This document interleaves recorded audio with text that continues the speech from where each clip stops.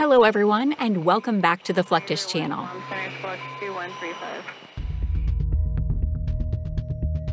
Learning from the events of World War II, many countries invested in acquiring a fleet of aircraft suitable for operations on an aircraft carrier.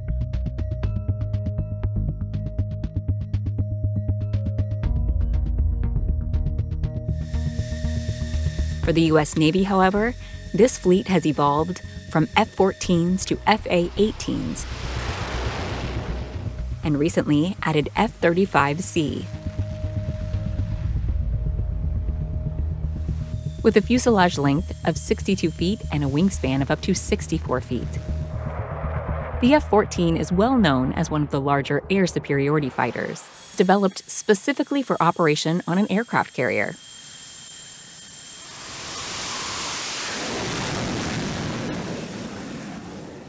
However, its predecessor, the F 15, is regarded as the most capable air superiority fighter of its generation, even to this day. It has an astonishing air to air kill record and can survive heavy damage caused to it by another fighter jet.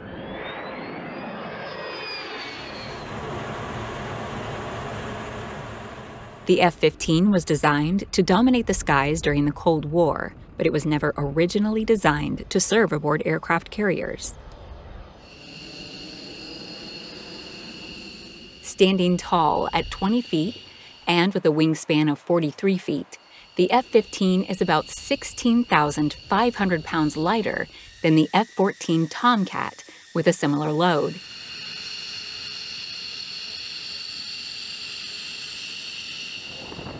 On top of that, it has a relatively low weight to wing area ratio, making it more maneuverable than the F 14.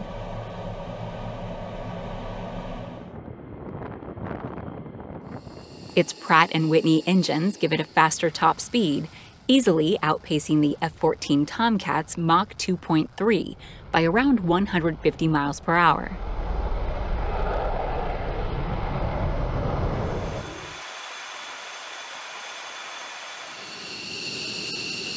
Incredibly, all these features came at a cheaper cost to install on a newer aircraft than the F 14.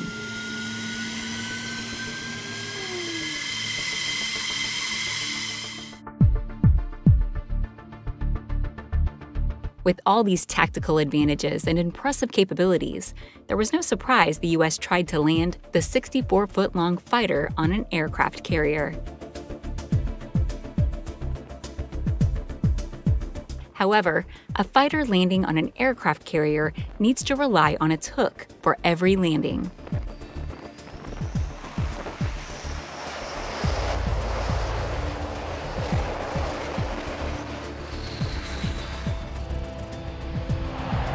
To do that, there's a special technique to slow down the aircraft during landing.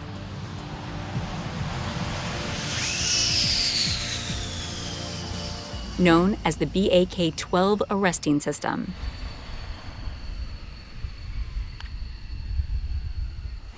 This system is critical during emergency situations, and it was tested on the F 15 while landing on land. Interestingly, the BAK 12 is not limited to only fighters, but can be used on any aircraft with a tailhook.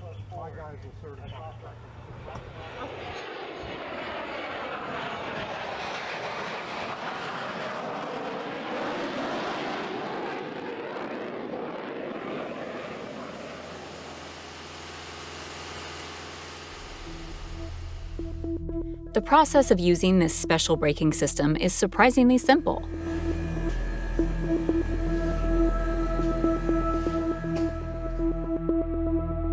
As soon as the fighter approaches the runway, it will drop a tailhook that will catch the BAK 12 braking system on the runway, safely slowing down the aircraft.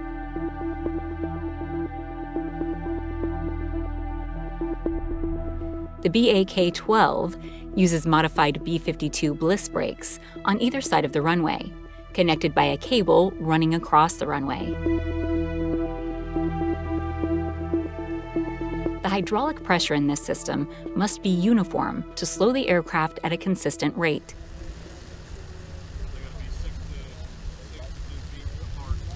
The BAK 12 system might only feed a cable across the flight line to catch the jet, but this cable can stop a jet traveling at 200 miles per hour.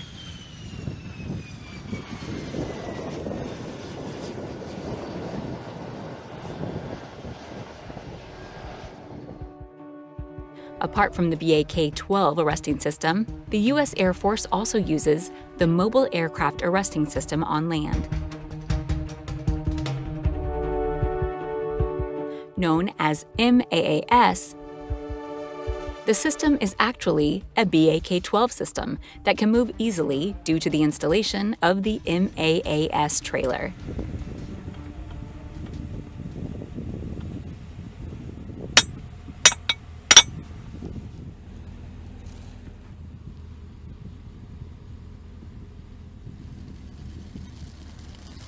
This system uses a 1.25 inch diameter pendant cable, which is supported by 6 inch cable support discs. The cable is attached to nylon purchase tapes and runs the width of the runway. Despite being simple to use, the system has a great deal of flexibility. This is because it can be installed in multiple configurations and on different surface types.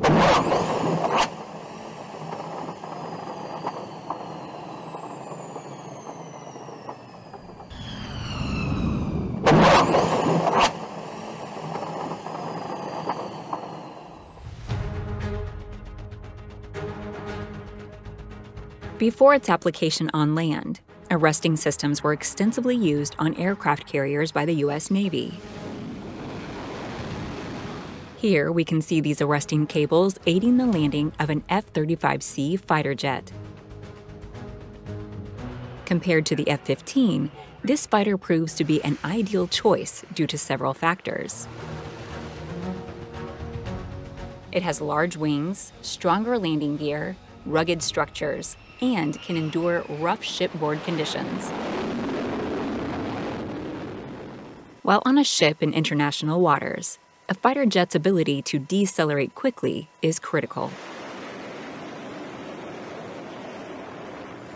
This is because aircraft carriers lack a long runway to stop. With this in mind, the arresting gear system is designed to ensure a quick and safe stop as the steel wires grab the tailhook and decelerate the aircraft.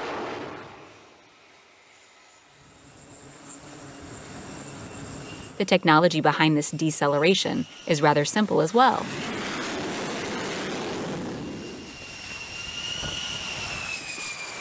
As the tailhook engages the wire, the kinetic energy of the aircraft is transferred to the hydraulic damping system below the carrier.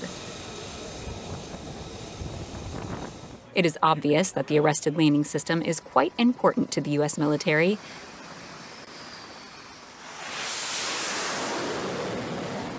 Thus, the system is inspected and tested sometimes to ensure it is in good working condition. The arresting gear can be tested for its load spectrum capability and damage tolerance.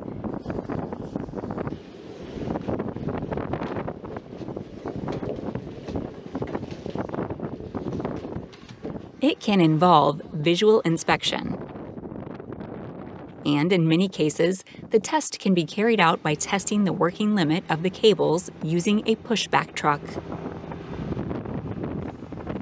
The cables are arranged in the usual form and fed into the hook of the truck.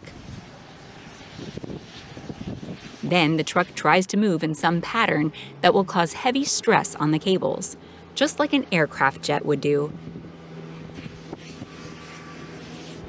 And the resulting performance is analyzed.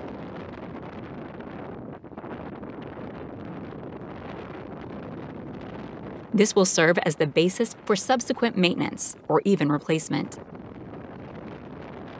This maintenance is critical for having confidence in the cables to stop aircraft from cruising at speeds of more than 200 miles per hour.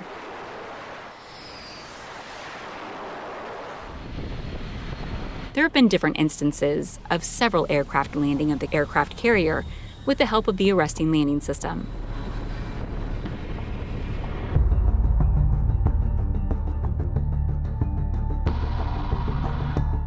Another variant of an aircraft that has attempted to land on the carrier deck with the use of an arresting landing is the U 2 Dragon Lady.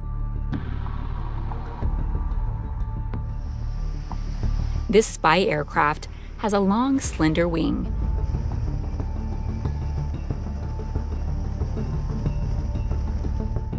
And its wheels have an alignment similar to that of tires on a bicycle.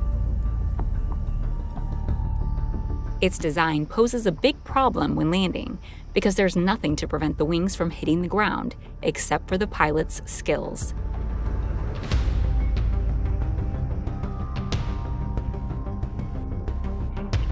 In fact, landing a U 2 on a conventional airstrip is one of the most difficult tasks, even for the most experienced pilots. To improve its ability for a carrier landing, there had to be some changes to its design. Its long, slender wings are fitted with spoilers to reduce its speed and landing distance.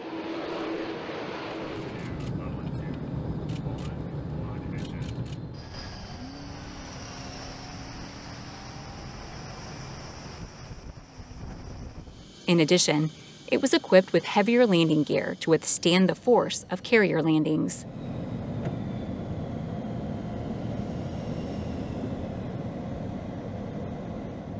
This change was made to minimize the amount of vibration the cables send through the body of the spy plane during landing.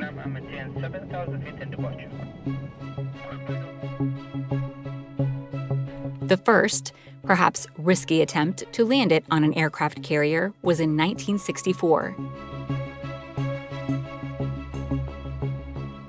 Its landing experience was not entirely successful.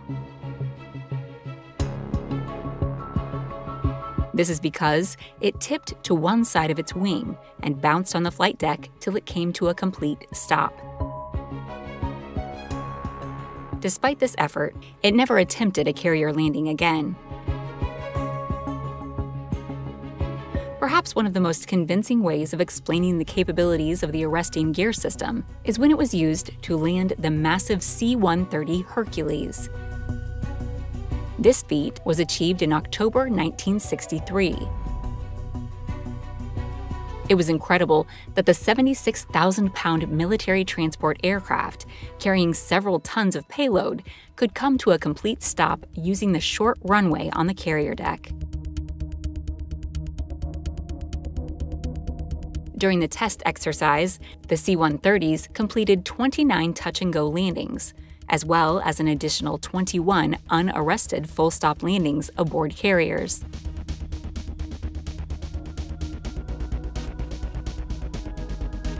Although the test program didn't ultimately result in C 130s operating off the carrier's deck, it proved it was possible. In doing so, it holds the record as the biggest aircraft ever to land on an aircraft carrier deck. A pilot may have up to 12,000 feet to land on an airstrip on land.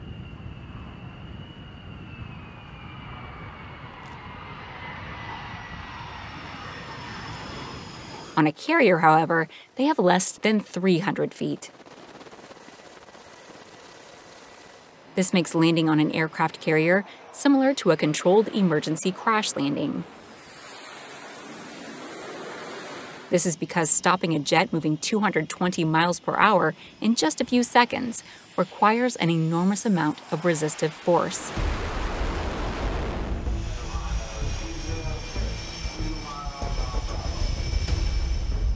More so when the technique used only involves trapping the arresting cables to stop the flight before the end of the flight deck.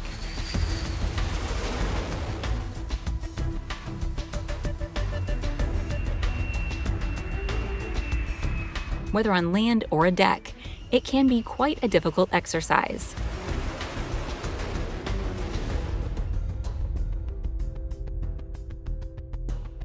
Despite the improvement of the system in recent years, the exercise still makes even experienced pilots nervous and alert about an arrested landing, which helps them remain precautious.